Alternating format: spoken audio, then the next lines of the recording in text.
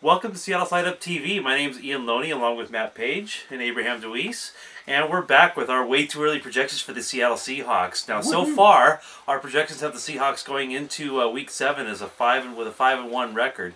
And this week, uh, we're going to cover their games with the uh, Santa Clara 49ers and the Dallas Cowboys. So, first of all, uh, let's talk about the Santa Clara 49ers. Uh, they have had some pretty wholesale changes on their roster. That they have, yeah. It, incredible, like I don't know, record-breaking turnover in one season. it's it's it's kind of been sad almost. No, I'm happy. I yeah. I'm so happy that they're turning over everybody. but the problem is, is we lose that awesome rivalry. You know. Yeah, It- I guess. I mean, yeah, yeah. We love to see them fall, but only so far. Then it becomes kind of sad. Yeah, no, I want becomes a them to fall to the ground, and then I want to kick them as they're on the ground, writhing in pain. okay. I mean the team, not the fans.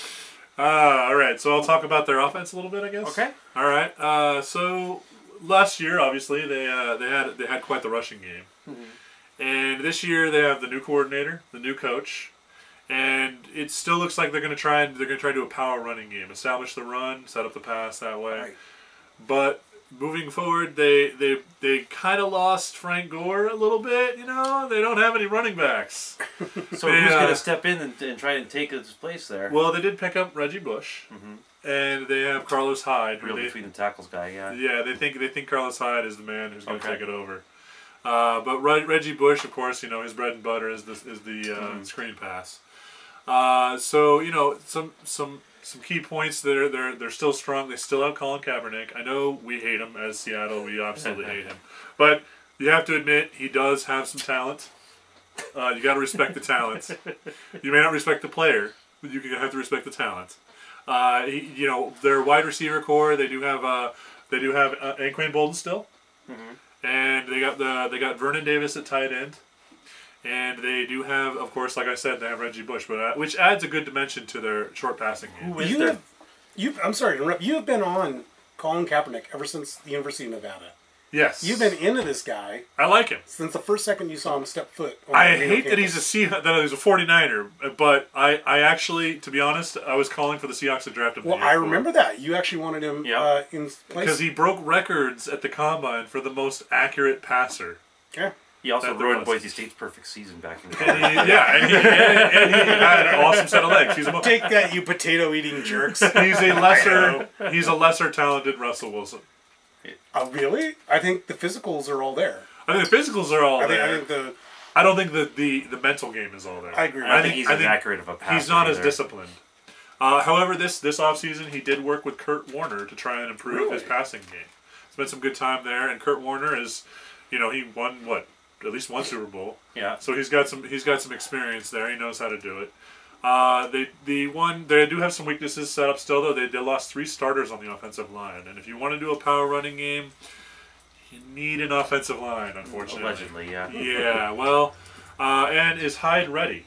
I we don't know. I don't I don't know if he can carry Frank it. Gore has been the staple of that offense Frank for a long time. Gore, even when he's banged up, he's still as the year goes by, he gets stronger. And then the other thing is, is they added Torrey Smith, and Torrey Smith, I don't have the highest opinion of. he's a kick returner. He is an incredible pick, kick returner, punt returner, but he is not a wide receiver. So all that said, the offense is probably going to be pretty decent. Now, It's uh, gonna be okay. Okay. Now the defense, on the other hand, is probably going to have some problems. And why do you think that? I think they're going to have a lot of problems. Okay, so now let me throw this at you. When Vic Fangio, the old defensive coordinator, was there, these guys finished in the top 10 defense for three years in a row. Only two other teams that have done that our Seahawks and the Carolina Panthers. Uh, last year, last year the 49ers, they were 10th in points given up, fifth in total yards, fifth in pass rush. Yep. I mean, they're right up there with the Seahawks, with the Cardinals, with the Panthers, and everything. But you lose Vic Fangio, and you also lose lose a hard, hard ass. Sorry, you know, uh, John Harbaugh, who jumped all over players who screwed up, Yeah. and then also helped them get better as well. But you're bringing in Eric Mangini. Do you guys remember Man Genius? oh. The guy who did nothing but Yeah. the guy who did nothing. Yeah, there we He go. did nothing. Yeah. Well, his philosophy is he doesn't take a cookie cutter approach. He tailors the defense, and I do like this. He tailors the defense for the players who Yeah. he has. You know, you you coordinate with what you have. The only problem here is you're losing Perrish Cox, you're losing Chris Culliver, Justin Smith, Ray McDonald, Chris Borland, Dan Skuta, Patrick Willis. Yeah, their The entire linebacking on core is on and on. crazy. And uh, you know, even though I like his style, Man, uh, Mangini, he wasn't very that, very impressive as the Jets head coach or the Browns head coach. Now, Niners do have something. They have Darnell Dockett coming in Oh yeah. from the Arizona Really Cardinals. They have they still have Aldon Smith. They still have uh, Ahmad Brooks and NaVorro Bowman should be coming back from that gruesome, just horrifying knee injury from a Oh. while back. So all that said, what do you guys think is going to win this game? What do you think their chances are against the Seahawks next year? I'm still having flashbacks from the Bowman Bowman knee injury. That was. It was ugly. It was Terrifying. very ugly. And let's see it again on replay. Injury. Uh, as far as as far as this game, I think it'll be a blowout for the Hawks. I think we're just going to steamroll them this year. Absolutely. I'm calling a loss. The Really? Seahawks are going to lose this one. Uh, the Seahawks are coming off of uh, a couple of couple of tough games, and they're going down to Santa Clara. I think the Niners are going to be up for this game. This is their this is going to be their like you know mid season uh, Super Bowl. so you, think it's going to be like the Rams usually are against us, where they just step up big because it's like Mm, Yes and no. I think there's an incredible amount of embarrassment when we were eating turkey on the 50 yard line. Of their field. Yeah, yes, I, I think Yeah. I think there's going to be cheap shots abound and a close win for the 49ers. Now, I predict a close game because I think the Seahawks will probably start this game a little bit flat, just because I imagine the Niners will be something like two and five coming into this game. So I I expect a closer game than what it probably should be, but I think the Seahawks will end up pulling it out. All right. Fair enough. So that said, um, we're on to the the net the game the following game, which we're getting toward mid-season now. It's the Dallas Cowboys, which should be a big one. How about them Cowboys? How about them Cowboys? So someone's not So- a someone's not a fan of uh, No, I'm not a fan Gary of the Cowboys or or their America's team. America's team. They're not are America's, America's team. team for they sure. are No, not no, no. America's team. The Packers Green Bay. Packers are America's team. because they're owned by America. But anyway, The Cowboys are just a bunch of Cowboys pretenders. last year had an incredible season. Yes, they Uh, did. They really did. They so came out of left field. They surprised. They surprised us. surprised me. I had them as eight Uh, last year. You know, and they, and they surprised everyone. To I be mean, fair, did they were very eight, well. to be fair, they were eight and eight for like what twenty years in a row. yeah, they were. So it's easy to project them to keep doing that. Yeah. yeah. Uh, they you know they finished they finished second overall in rushing offense. Mm-hmm. Now, yeah, we'll get to it, but that's not going to happen again this year. Yeah.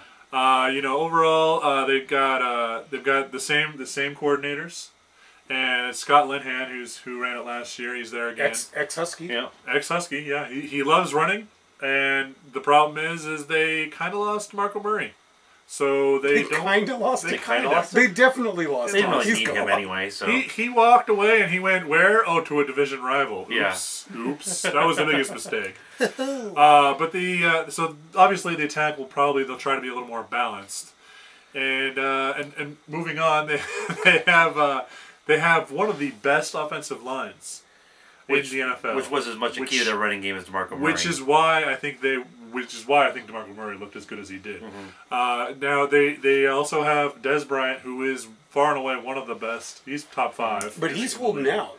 But he's holding out, so he's kind of a question mark, unfortunately. He's actually an unrestricted free agent. Yeah, Or they- restricted. I'm sorry, he's a restricted. he's restricted, agent. and they tossed the franchise tag on him. Yeah, yeah. and he's saying he's not gonna he's not gonna sign. It's kind of a negotiating tactic. They still have some time here to figure it out.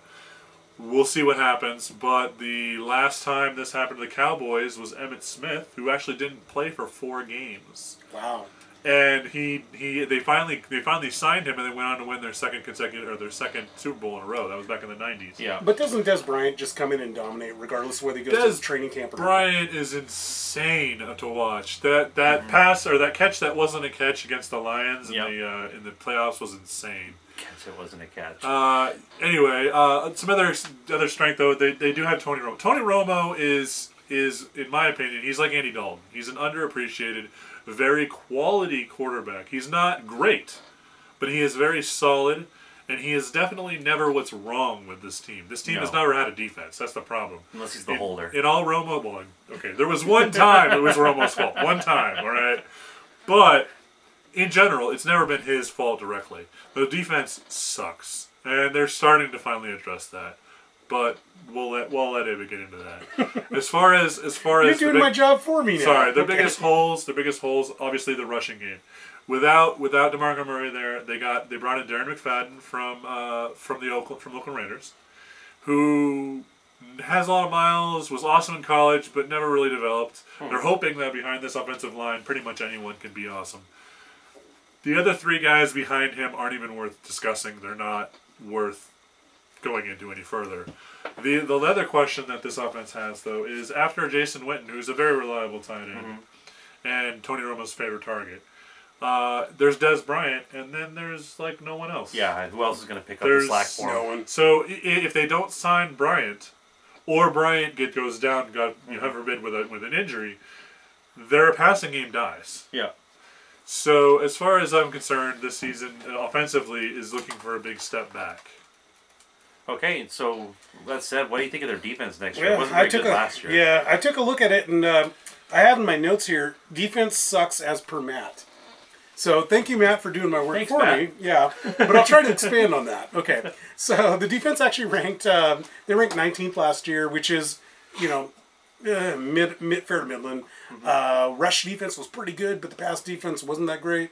Um, I think those numbers are hyperinflated by a very good offense last year. Yes, I agree. Where they didn't have to be on the field all that much. Mm-hmm.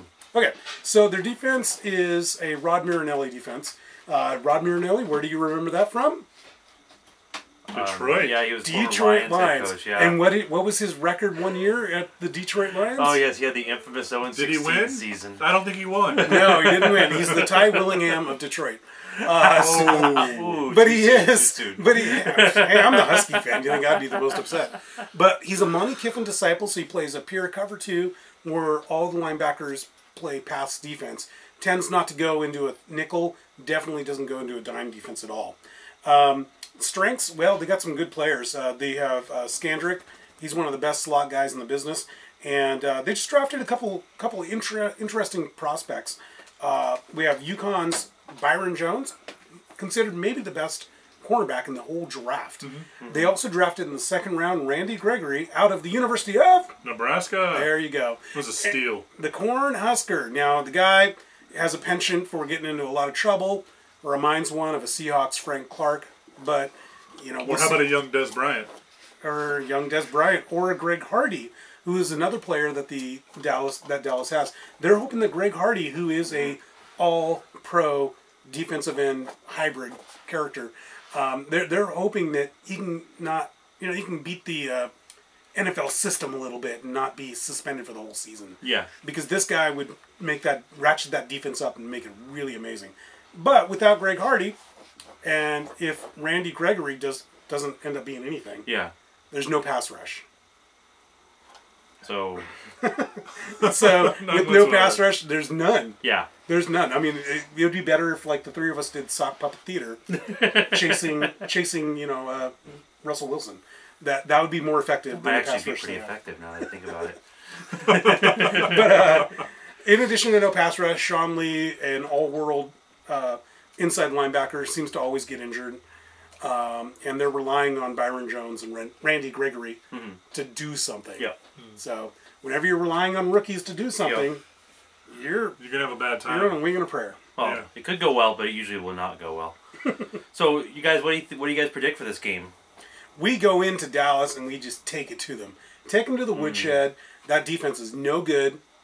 That defense cannot stop Marshawn Lynch. Jimmy Grant's going to run roughshod on a very poor uh, set of strong, uh, a poor set of safeties. I think we burned the place down. Also, I think I think we just walk in there, just burn, just set fire, just set fire to uh, to uh, um, Jones World or Jerry's World. Jer- Jerry Jones world. Jerry yes. Jones World. We'll set fire to it. We just, I mean, yeah, like you're saying, the defense cannot stop Marshawn Lynch, and that combined with uh, the, basically no passing attack and a running back committee that can't get past our defensive line. Nondescript running backs. Yeah, I- I just, I, I think they'll just, they'll be kittens. I mean, So I'm going to be a contrarian here. I'm going to say Dallas pulls this one out only because I, I suspect Richard Sherman will pull a hammy or something, dancing with the cowgirls or something along those lines. Something weird's going to happen. I think the Dallas offense will just go off in that game, and being in Dallas, I think that's one that the Seahawks very well might drop. All right. Okay, fair enough. You're wrong, but you're entitled to be wrong. I mean, you're wrong about a lot of things. yeah, And yeah. this is yeah. I try. I try. that you're wrong about. but you are entitled to be wrong. You're entitled to your opinion. This is America.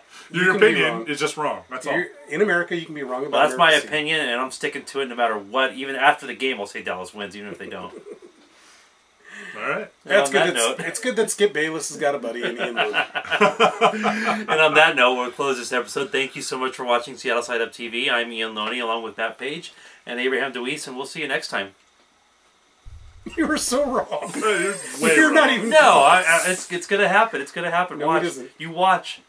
No, we will watch. Oh, That's, that's what you do with sports. Is you watch. We will be mocking you. While we will, happens. we will text message you.